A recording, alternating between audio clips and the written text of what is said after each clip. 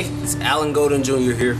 Uh, playing my MTD USA handmade 635 custom model. Um,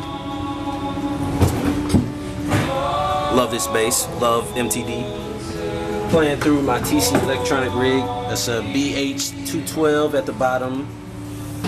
Uh, it's a BH410 on top and the RH750 head. Yeah. Love my gear. Oh, shout out to Bartolini Pickups.